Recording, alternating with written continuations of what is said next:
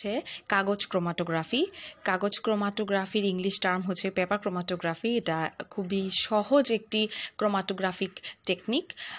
এই ক্রোমাটোগ্রাফিক টেকনিকটা মূলত কোনো মিশ্রণ থেকে বিভিন্ন উপাদানগুলো পৃথকীকরণ, বিশ্লেষণ বা এর পরিমাণ নির্ণয় করার জন্য ব্যবহার করা হয়। তো আমরা দেখছি কাগজ ক্রোমাটোগ্রাফি নিয়ে। কাগজ chromatography British biochemist Archer John Porter প্রথম এবং রিচার্ড লরেন্স মিলিংটন সিঞ্জ দ্বারা উদ্ভাবিত হয়েছিল। তার পরবর্তীতে উনিশশো একচল্লিশ সালে তারা দুজনে একসাথে কাজ শুরু করে এবং এই কাগজ ক্রোমাটোগ্রাফি, গ্রাফিটা একটা ডেভেলপড পর্যায়ে নিয়ে আসে। এবং আমরা আসলে এই কাগজ ক্রোমাটোগ্রাফিটা কি কি কাজে ব্যবহার করছি? ব্যবহার করছি মূলত পৃথকীকরণ প্রক্রিয়ার জন্য, বিশুদ্ধিকরণ প্রক্রিয়ার জন্য এবং শনাক্তকরণ প্রক্রিয়া আর যেটা খুব বেশি ইম্পর্টেন্ট সেটি হচ্ছে পরিমাণ নির্ণয় করা। এই সবগুলো প্রক্রিয়ার মাধ্যমে এসে যখন আমি পরিমাণ নির্ণয় করব। তো যে কোনো বিষয় পড়ার আগে আমাকে সবার প্রথমে যেটা মাথায় রাখতে হয় সেটা হচ্ছে আমি এটা কেন পড়ছি, আমার এটা পড়ার কি প্রয়োজন আর কোন টেকনিক ফলো করলে আমি সেটা খুব শর্টেস্ট টাইমে জানতে পারব। এই তিনটা ক্রাইটেরিয়া মেনটেন করার চেষ্টা করবে। তো ক্রোমাটোগ্রাফি শেখার জন্য তার আগে তোমাকে জানতে হবে এর অর্থটা কি? এর অর্থ হচ্ছে বর্ণলিখন বা বর্ণচিত্রণ। চিত্র অঙ্কিত হবে কোথায়? কেউ এঁকে দিবে? না। আপনা আপনি হবে সেগুলো। কীভাবে হবে সেই পদ্ধতি পদ্ধতিটাই আজকে আমরা দেখব। তো এখন দেখো, আমি কেন জানতে চাচ্ছি, একটু আগে আমি বললাম যে আমি বিশুদ্ধিকরণ করার জন্য, পরিমাণ নির্ণয় করার জন্য, শনাক্তকরণ করার জন্য আমি ব্যবহার করতে চাচ্ছি ক্রোমাটোগ্রাফিক পদ্ধতিটা, যেটা পেপার ক্রোমাটোগ্রাফি। আর এইটা আমি মূলত ব্যবহার করতে পারি কখন? যখন অ্যামাইনো অ্যাসিডের মিশ্রণ থেকে আমি কোনো একটা বিশেষ অ্যামাইনো অ্যাসিডকে আলাদা করতে চাই। ইউরিনে বিভিন্ন ধরনের অ্যামাইনো অ্যাসিড এবং শর্করা মিশ্রিত অবস্থায় থাকে। যদি সেগুলোকে সেপারেট করতে চাই, ধাতব আকরিকে যখন ধাতুগুলো থাকে, কোন ধাতু কি পরিমাণ থাকে তার বিশুদ্ধতার মানদণ্ড আমি বের করতে পারি এই ক্রোমাটোগ্রাফি ব্যবহার করে। তাছাড়া ক্লোরোফিল বা গাছের বিভিন্ন ধরনের পাতার নির্যাস থেকে আমি এর উপাদানগুলোকে পৃথক করতে পারি। ক্লোরোফিলে বিভিন্ন উপাদান আছে, যেমন xanthophyll carotene, chlorophyll A chlorophyll B এগুলো ক্লোরোফিলের গাছের পাতার মধ্যে থাকে মূলত। তো এই উপাদানগুলোকে আলাদা করার জন্য আমি প্যাপাক্রোমাটোগ্রাফি ইউজ করতে পারি। তাছাড়া যেটা করতে পারি পলিমারগুলো বিশ্লেষণ করতে। তো যে কোনো ক্রোমাটোগ্রাফির যে কোনো ক্রোমাটোগ্রাফির দুটা গুরুত্বপূর্ণ সাধারণ বস্তু হচ্ছে স্থির মাধ্যম বা স্টেশনারি ফেজ আর একটি হচ্ছে সচল মাধ্যম, অর্থাৎ মোবাইল ফেজ তো কে স্থির থাকবে? এবং কোন মাধ্যমটা, সে স্থির মাধ্যমকে বেয়ে বেয়ে আস্তে আস্তে উপরে উঠবে, সেই বিষয়টা জানি এখন।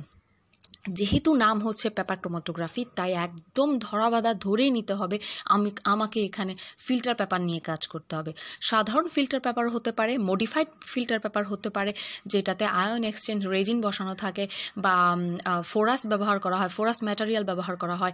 তো আমরা যেই কাগজটাই ব্যবহার করছি ফিল্টার পেপারটাই ব্যবহার করছি, সে ফিল্টার পেপারের সূক্ষ্ম সূক্ষ্ম ছিদ্রে পানি শোষিত অবস্থায় থাকে হ্যাঁ? এটা আমরা জানি অ্যাডহেশন ফোর্স কোহ্যাশন ফোর্স এবং আমরা এই এই জিনিসগুলো সম্পর্কে জানি এবং পানি একটা পৃষ্ঠতলে কেন আটকে থাকে আমরা সেগুলোও জানি। তো আর সচল মাধ্যম হিসাবে এখানে যার যার কথা বলছি সেটা জৈব দ্রাবক এবং এই জৈব দ্রাবক হিসাবে আমি এখানে ইথানল, মিথানল মানে যে কোনো প্রকার অ্যালকোহল, ইথার, বেনজিন ফিউরান এগুলো ব্যবহার করতে পারি, হুম? আর এই জৈব দ্রাবকের নির্দিষ্ট একটা কাজ আছে, কাজটা হচ্ছে সে নমুনাকে সাথে করে নিয়ে বাহিত হয়। কোথায় যায়? ফিল্টার পেপারের একটা বেজ লাইন থাকে, সর্বশেষ নিচের দিকে, ঠিক দুই সেন্টিমিটার উপরে যে বেজ লাইনটা থাকে বেজ লাইন থেকে একদম উপরের দিকে যেতে থাকে। তো এখন আমরা যেটা দেখব কাগজ ক্রোমাটোগ্রাফির প্রকারভেদ। আমি একটা টেকনিক জানার আগে সেটা কত রকমের হয় তা জানলে টেকনিকের মেকানিজমটা আমার কাছে ইজি মনে হবে এবং মূলনীতিটা আমি ধরতে পারব। প্রতিটা প্রকারভেদের জন্য একটা নির্দিষ্ট মূলনীতি আছে, যেই মূলনীতিটা ফলো করে বা সবগুলো প্রকারভেদই কাজ করে। তাই আগে প্রকারভেদটা দেখে আসি কেমন হয়। তাহলে আমি সেই ক্রোমাটোগ্রাফিকের সেট আপটা কল্পনা করতে পারব। তো প্রথমে হচ্ছে ascending chromatography ascending paper chromatography descending paper chromatography ascending descending paper chromatography two D paper chromatography radial paper chromatography নামগুলো শুনে কিচ্ছু বুঝি নেই। এবার ছবি দেখি, চলো। দেখি এবার কিছু বুঝি কিনা। অ্যাসেন্ডিং পেপার ক্রোমাটোগ্রাফি যেটা আমরা অ্যাজ ইউজুয়াল পেপার ক্রোমাটোগ্রাফিতে ব্যবহার করে থাকি, এটা খুব বেশি ব্যবহার করা হয়। সেটা হচ্ছে সলভেন্টটা থাকে নিচে। সলভেন্টটা থাকে নিচে আর পেপারটাকে উপর থেকে নিচের দিকে ঝোলানো থাকে। পেপারে যে বেজ লাইনটা থাকে পেপারের যে বেজ লাইনটা থাকে, সেই বেজ লাইনটা সলভেন্টে ডুবানো থাকে এবং আস্তে আস্তে জৈব দ্রাবকের মধ্য দিয়ে নমুনাগুলো উপরে বাহিত হয়। এটা হচ্ছে অ্যাসেন্ডিং পেপার ক্রোমাটোগ্রাফি এইবার দেখব আমি ডিসেন্ডিং পেপার ক্রোমাটোগ্রাফি ঠিক অ্যাসেন্ডিং পেপার ক্রোমাটোগ্রাফির উল্টোটা, তার মানে এখানে রিজার্ভায়ার অর্থাৎ সলভেন্ট ট্যাঙ্কটা থাকে উপরের দিকে এবং আস্তে আস্তে নিচের দিকে সলভেন্ট বাহিত হতে থাকে। অর্থাৎ ফিল্টার পেপারটাকে ঠিক উল্টো করে ঝোলানো রয়েছে। তারপর দেখছি অ্যাসেন্ডিং ডিসেন্ডিং পেপার ক্রোমাটোগ্রাফি এই ক্রোমাটোগ্রাফিটা ভীষণ মজার। এখানে প্রথমে অ্যাসেন্ডিং অর্ডারে অর্থাৎ নিচ থেকে উপরের দিকে দ্রাবক বাহিত হয়, তারপর আবার উপর থেকে নিচে দ্রাবকের বাহিত হয়, যার জন্য অ্যাসেন্ডিং ডিসেন্ডিং ক্রোমাটোগ্রাফি এটিকে বলা হয়। তারপর যেটা দেখব টু ডি পেপার ক্রোমাটোগ্রাফি খেয়াল করে দেখবে two D paper chromatography normal paper ক্রোমাটোগ্রাফিতে আমরা যে কাগজটা ব্যবহার করি ফিল্টার কাগজটা ব্যবহার করি, সেই ফিল্টার কাগজটা যখন আমি এরকম খাড়াভাবে রাখি, পরবর্তীতে এই ফিল্টার পেপারটাকে আবার এইভাবে সমান্তরালে রাখব। কেন রাখব সমান্তরালে? সেটা আবার নতুন করে বাহিত হবে। ঠিক নাইনটি ডিগ্রি অ্যাঙ্গেলে এটাকে রোটেট করে দেওয়া হবে। তারপর যে ক্রোমাটোগ্রাফিটা দেখব, সেটা হচ্ছে radial paper chromatography radial paper ক্রোমাটোগ্রাফিটাও একটা ভীষণ মজার পেপার ক্রোমাটোগ্রাফি এই ক্ষেত্রে দেখবি একটা অন্যরকম নিয়ম কাজ করছে। সেট আপটা অন্য যে কোনো ক্রোমাটো পেপার ক্রোমাটোগ্রাফির মতো নয়। এখানে একটা উইক কাজ করে। হ্যাঁ উইকটাকে কেন্দ্র করে সার্কুলার মোশনে এখানে ফিল্টার পেপারটা ঘুরতে থাকে এবং একটা পেস্ট্রি ডিশ ডিশের মধ্যে এটিকে বসানো হয় হ্যাঁ? তো এই সমস্ত ক্রোমাটোগ্রাফি আমরা যেগুলো দেখলাম, সবগুলোই একটা ঢাকনা দিয়ে ঢাকা থাকে, একটা লিড থাকে। কেন? কারণ হচ্ছে আমরা যে সলভেন্টগুলো ব্যবহার করছি অর্গানিক সলভেন্টগুলো ব্যবহার করছি, এগুলো সবগুলো হচ্ছে ভোলাটাইল থাকে, অর্থাৎ উদ্বায়ী থাকে যে জন্য সলভেন্ট লস যেন না হয়, আমরা সেই জন্য ঢাকনা ব্যবহার করছি। তো এতক্ষণ আমরা যা জেনেছি, সেইখান থেকে এখন আমরা কিছুটা মূলনীতি অনুমান করতে পারব। খেয়াল করবে, মূলনীতি কখনোই কোনো স্টেটমেন্ট নয়, একদম কোনো বাণী নয় যে হুবহু লিখতে হবে। নিজের ভাষায়, সরল ভাষায় লেখার চেষ্টা করো, কিন্তু খুব পরিমিত ভাষায় লেখার চেষ্টা করবে। খুব বেশি বড় করা যাবে না। তো প্রথম নীতিটা হচ্ছে, নীতির প্রথম অংশটা আমি বলতে চাচ্ছি যেহেতু এখানে উপাদানগুলোকে আলাদা আলাদা করা হয়, অর্থাৎ পার্টিশন দ্যাট মিন্স বন্টন আর ফিল্টার পেপার ফিল্টার পেপারে পানির অণুগুলো শোষণ হয় অ্যাবজর্বশন অর্থাৎ এক্ষেত্রে দুইটা নীতি কাজ করছে। আর খেয়াল করবে সলভেন্ট জানিয়েছি সেটাও তরল এবং নমুনা যেটা নিয়েছি সেটাও তরল, যেমন ইউরিন বলো, আর তুমি ক্লোরোফিলের স্যাম্পল বলো না কেন, এটা হচ্ছে তরল। তাহলে এটা হচ্ছে তরল তরল দশার মধ্যে বিতরণ হচ্ছে। আর স্টেশনারি ফেজ আর মোবাইল ফেজের কথা তো আমি অলরেডি আলোচনাই করলাম। তো এখন এতক্ষণ যা জেনেছি তা একটু বিশেষভাবে দেখব, হুম? সেটা হচ্ছে, আমি এখানে হাইলাইট করে রেখেছি, তোমরা খেয়াল করবে। বিশেষভাবে বিশেষভাবে প্রস্তুতকৃত ফিল্টার কাগজের উপর এক ফোঁটা স্যাম্পল নিয়ে তার মানে বিশেষভাবে প্রস্তুতকৃত ফিল্টার পেপার বলতে বোঝাচ্ছে ফিল্টার পেপারের পোর সাইজের উপর ডিপেন্ড করে ফিল্টার পেপার সিলেক্ট করতে হয়। তুমি কেমন আণবিক ভরের জৈব যৌগ শনাক্তকরণ করতে চাচ্ছ, সেই ব্যাপারের উপর ডিপেন্ড করে পোর সাইজ অর্থাৎ সূক্ষ্ম ছিদ্রের সাইজ অনুযায়ী পেপারকে সিলেক্ট করতে হয়। মাঝে মাঝে মডিফাইড ফিল্টার পেপারও ইউজ করা হয়। তো ফিল্টার পেপারের নিচে একটা পেন্সিল দিয়ে বেজ লাইন টানতে হয়, দুই থেকে তিন সেন্টিমিটার উপরে। সেই বেজ লাইনে এক ফোঁটা স্যাম্পল দিতে হবে। কি দিয়ে দিতে হবে? একটা কৈশিক নল দিয়ে দিতে হবে। খুব চিকন নল, কৈশিক নল দিয়ে জাস্ট এক ফোঁটা। তারপর সেটাকে ডুবাতে হবে কোথায়? জৈব দ্রাবকে, অর্থাৎ সলভেন্টে হ্যাঁ? সলভেন্ট আর পানির মিশ্রণে যখন সেটাকে ডুবানো হবে আস্তে আস্তে, সবার প্রথমে আগে পানিটা পুরা ফিল্টার পেপার জুড়ে উঠে যাবে। আমরা তো এটা জানি, রাখা মাত্রই আগে পানিটা ফিল্টার পেপার জুড়ে উঠে যাবে। তারপর আস্তে আস্তে জৈব দ্রাবক সেই নমুনাটাকে নিয়ে আস্তে আস্তে বাহিত হবে।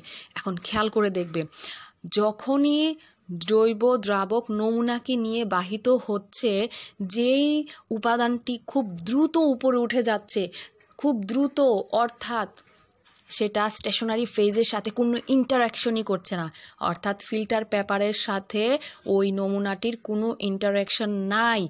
আর যে নমুনাটি আস্তে আস্তে উপরে উঠছে, যে উপাদানটি আস্তে আস্তে উপরে উঠছে, সে ফিল্টার পেপারের সাথে ইন্টারাকশন করতে করতে উপরে উঠছে। যার জন্য আমরা একটা নির্দিষ্ট দূরত্ব পর পর আমি উপাদানগুলোকে আলাদা করে দেখতে পাবো। এবং এই যে দ্রবধারা, অর্থাৎ উপাদান ধারা অতিক্রান্ত দূরত্ব, সেটাকে পরিমাপ করে দ্রাবক ধারা অতিক্রান্ত অতিক্রান্ত দূরত্বের সাথে যে অনুপাত সেই অনুপাত থেকে আমরা আর এফ ভ্যালু বের করব।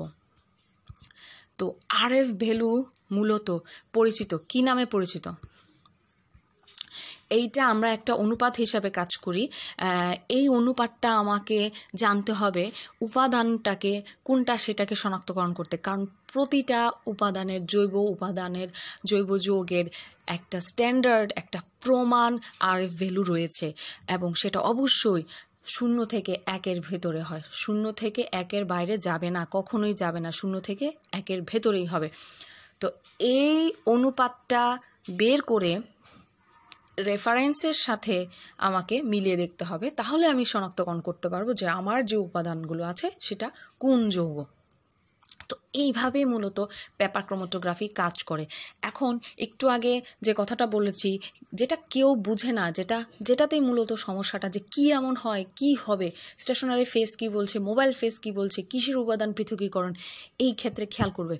কাগজের উপরে নমুনা ফোটা ফেলার পর দ্রাবক যখন উপরের দিকে বাহিত হয়, তখন নমুনাকে উপরের দিকে নিয়ে যাওয়ার জন্য এক ধরনের ফোর্স তাকে সাহায্য করে, যেটাকে বলা হয় ড্রাইভিং ফোর্স হ্যাঁ?